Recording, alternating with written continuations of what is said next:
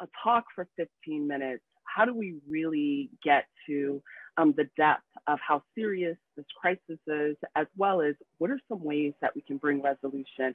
I'm going to attempt to do that in the 15 minutes that I have, but I think a lot of the work is going to happen in our Q&A section. So I'm super excited for everyone who joined us today in this space. I start with something that's very important to me, and that's disclosures. First, of course, we need to always recognize the ways that money um, really do drive research agendas and access to um, the ways that certain voices are amplified. However, financial disclosures alone aren't the only part that really impact the ways that we connect and perceive and understand knowledge. So I disclose that I come to this conversation as a Black woman. You may observe me and know that already. However, I invite you to lean away from that assumption of looking at someone and understanding their identity based on an appearance. I'm also a descendant of enslaved people with inherited resiliency. I'm a cisgender woman. I'm a first generation college student. I'm the wife of a Black man. I'm the mother of two children, hopefully, who will be quiet during this webinar, but you may hear them. Um, and I will leave with that point that I value um, and support many different ways of knowing. And so, with that being my value throughout this presentation, I will be using QR codes. And I use QR codes, one, um, because I've been to a billion different trainings and webinars, and I say I'll look up something later, and then I don't. But also because although we value academic and scholarly knowledge, we also have to recognize when we talk about racism, prejudice, and bias, many voices are silenced and whose voice is allowed to say this is substantial, this is valid, um, is often not the very people that have been hurt. So I'll be using QR codes that are both from academic knowledge, but also that are from community knowledge, because there are many different ways that we're gonna have to approach this to come to an understanding of reducing um, racism, prejudice, and bias. Racism is everywhere. Um, we see it in schools, in our workplaces, in our businesses, in our religious organizations, in medicine, in our relationships, in our government. And if you don't really see what I'm talking about, here are just a few examples. So in the academy, if we think about academic inequity, we see overplacement of children in special education services, we see crowded classrooms, teachers with less experience in certain um, school systems. We know that the New York City school system is one of the most segregated, if not the most, um, in our country.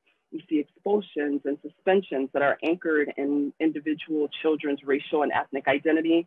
In medicine, we see horrific rates of maternal mortality. We see this in COVID 19 death rates. In our housing, there are questions around quality, location, home ownership, and employment um, inequitable salaries, promotions, and hiring, even in our legal system, um, rather than the criminal justice system, the criminal legal system, we see issues re related to sentencing, death policies, um, and policing. And so this idea that racism is everywhere doesn't just start on a societal level, it actually starts very, very young. We see babies as young as three months old showing a preference for the faces of caregivers that match, um, for their caregivers that match the same racial and ethnic identity.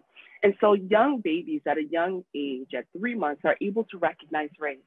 We see children as young as two years old start to reason about behavior based on race. At about two and a half, we see children starting to choose their playmates based on race. And at five years old, we see our white children um, really selecting playmates based on race. And five, at five years old, children start to associate certain groups with higher statuses related to race. And as horrifying as all of these numbers are, the thing that really drives me is knowing that explicit conversations with young children within a week start to shift their racial attitudes.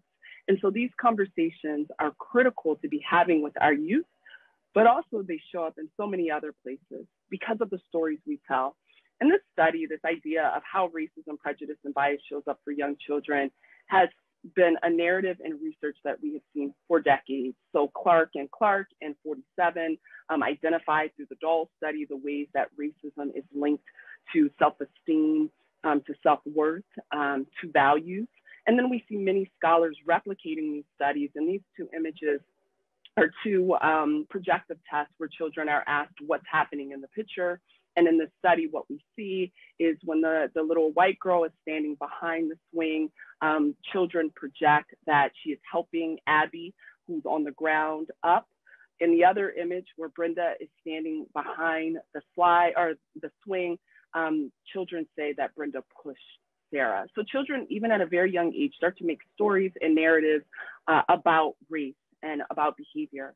And these stories over time become the truth. You know, is there a difference between perception and reality if it's your understanding of the world? And that truth becomes the justification for many of the egregious things that we have um, in our society. And then that story becomes invisible. And we're not even aware that we're telling this story anymore that is anchored in racism, prejudice, and bias. And so when I bring this issue up of humanitarian work, why is it so important? What is a humanitarian? This is a really short video where we really ask um, this uh, interviews from the UN where they ask people, what is a humanitarian?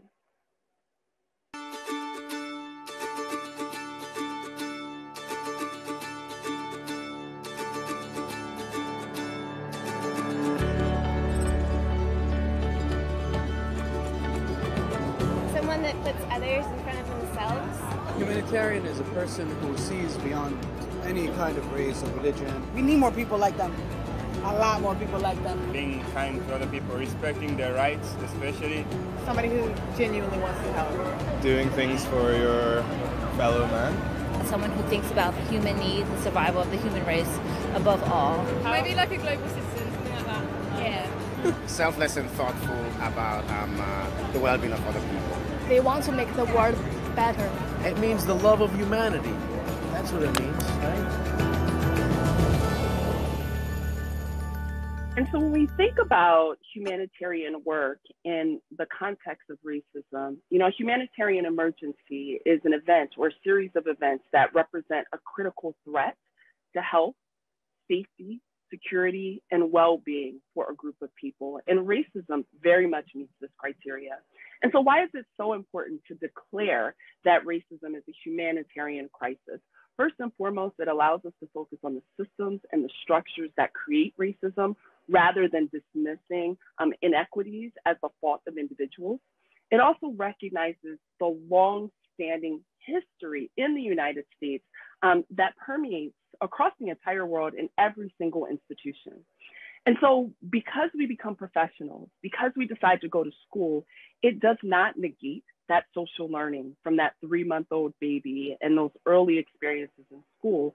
In fact, becoming a professional actually makes us more vulnerable to these issues that come up from racism and prejudice and bias related to our resources and power.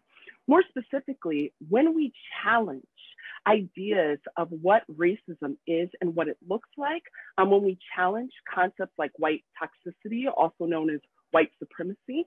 Um, I prefer the term white toxicity. White supremacy to me actually perpetuates white supremacy. There's nothing supreme about it.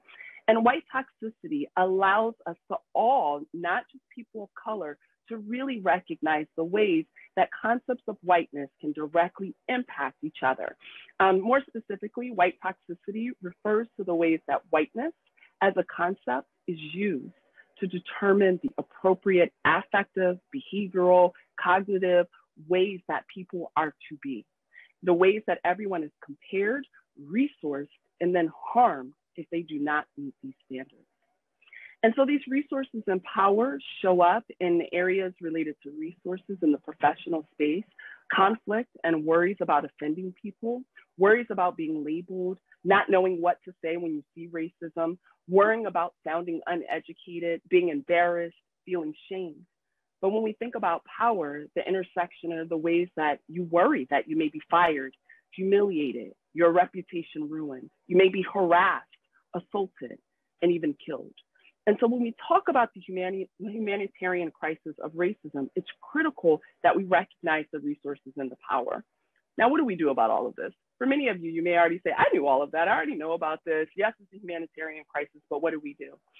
And so for years, I experienced racism as a young person in the classroom. I experienced racism um, as just a person navigating the world. And when I started training as a psychologist, I even noticed it in the therapy room and in my own supervision experiences. And so I became fascinated with what does it mean to decide that you want to dismantle racism when you are well intentioned, when you're not the image of racism that many of us have seen, those black and white images of a dog attacking someone, but instead, when well meaning, well intended, well intentioned people still engage in this humanitarian crisis. And so the Crawford bias reduction theory and training in CBRT is really about having a systematic approach to understanding and making the story that becomes invisible more visible. And so it's three major pieces. One is the awareness of the origins of bias, prejudice, and racism, and really the socially transmitted disease that we are all infected with, that is racism. The next is the investigation. What triggers our racism, prejudice, and bias, and what does it look like when it shows up? And lastly, how do we reduce the impact, not the intention, but the impact of individual, interpersonal, and systematic racism? when we think about what gets triggered and what get what gets activated, experiencing racism is really difficult. It's very painful. It's disorienting. And so there are also there are many different systems that get activated. The first is affectively in our emotions. It triggers fear, anger, anxiety, sadness, and for some even excitement behaviorally, it shows up in us yawning, having fatigue. Many of us are time impoverished and just don't have the, the energy to engage this.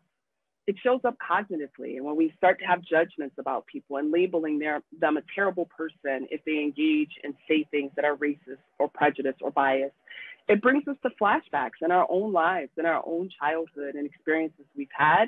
And it also leads to excessive curiosity, where we start to view people as a caricature of their true self. And lastly, physiologically, it impacts our bodies. Our hearts start pounding, our mouths get dry, our muscles get tense, and all of these ABCPs are signs that racism, prejudice, and bias are present.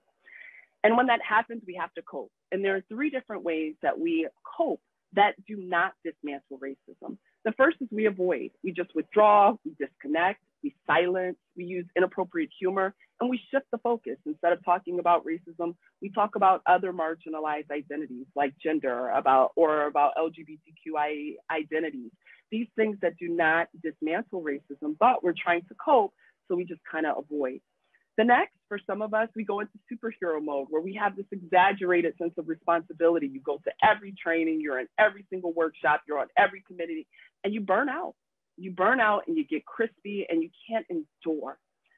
The last is we go into this critic mode and we move against the thing that is activating us and we get angry and irritable and we have heated arguments and we're CCing people on emails that don't need to be involved and we diagnose, oh, you know, you're bipolar and we're not even mental health professionals. All of these things to cope with those affective, behavioral, cognitive, and physiological activations.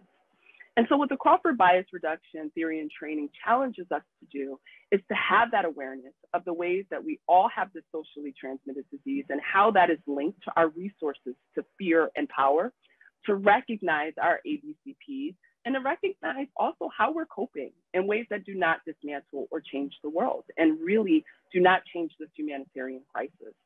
Um, the next is an investigation, and that's wonderful to understand what it looks like individually, interpersonally, and institutionally.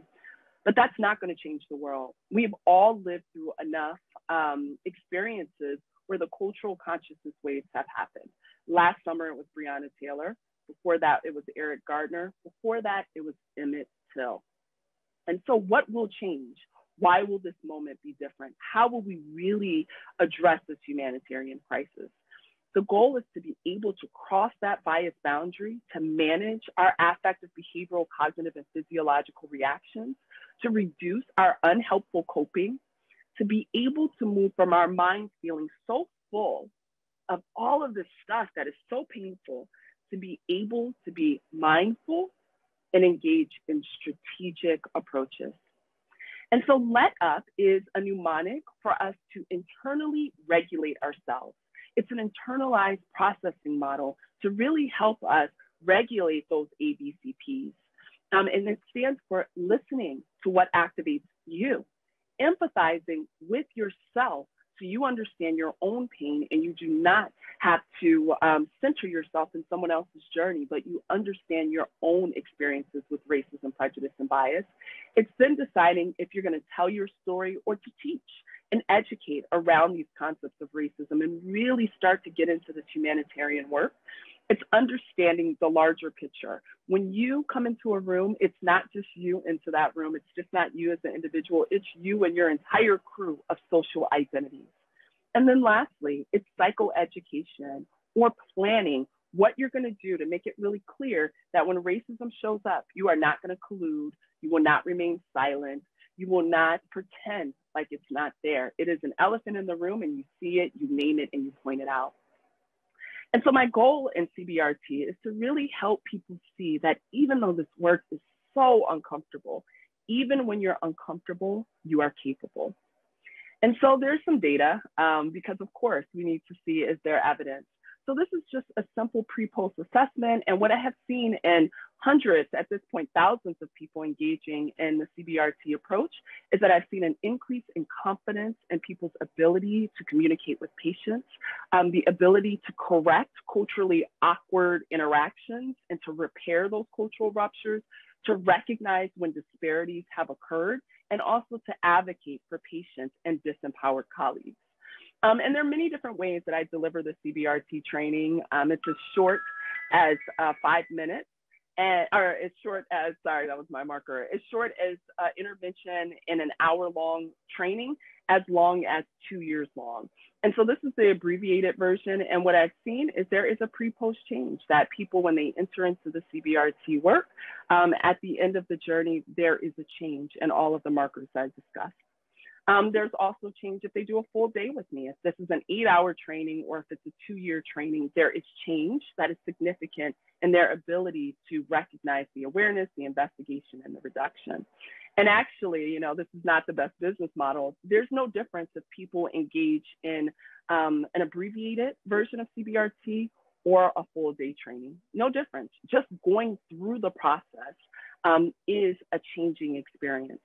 But I'm a qualitative researcher, and so I love those numbers, but to me, words ring true. Um, and the majority of feedback, and this is just, have thousands of these, these are just some quotes about what people have said through the experience. They feel more prepared to discuss the challenging, disrespectful language they've experienced with adolescents. Um, feeling like this isn't a model that's just for one setting, but is a, a model that can go anywhere in the world. Um, some people have said that this is one of the best multicultural trainings that they've gone through. And even for individuals who have done this work for years, um, still being able to recognize and identify many hidden biases that they were not aware of. Um, other things that people have said is that the experiential exercises are really useful. The CBRT model is really about moving our jaw. You can watch a thousand trainings, but if you don't actually move your jaw and engage in this work, change is not going to happen. You are not going to cross that bias boundary and you're not going to be able to do this humanitarian work.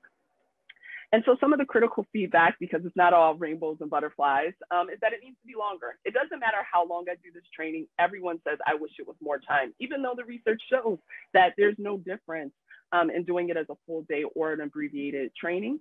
Some people say that the work is really triggering for them. Um, and the last comment is that, you know, ideas around race being a social construct, and we do recognize that race is a social construct, but it has very real biological, educational, medical, and so forth ramifications. Um, and so, you know, my invitation that I leave you with is when you look back at this point in your life, what will you say about your humanity? How did you show up? Did you engage in the humanitarian work that so many beautiful New Yorkers said in that video? It's about understanding other people. It's about connecting. It's about seeing the needs and showing up for people. Um, and so I look forward to your questions and your comments. These are all the other spaces that you can find me in. And with that, thank you so very much for your time.